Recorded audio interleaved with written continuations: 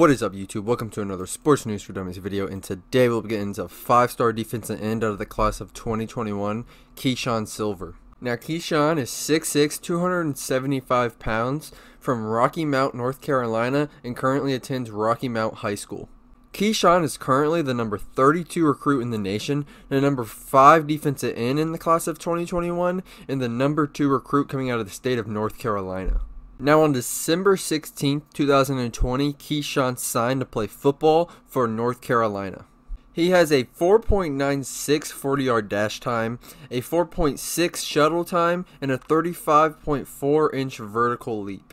Now, Keeshawn has a large frame and stature, began his career as a basketball player, and has continued to add mass throughout his high school career.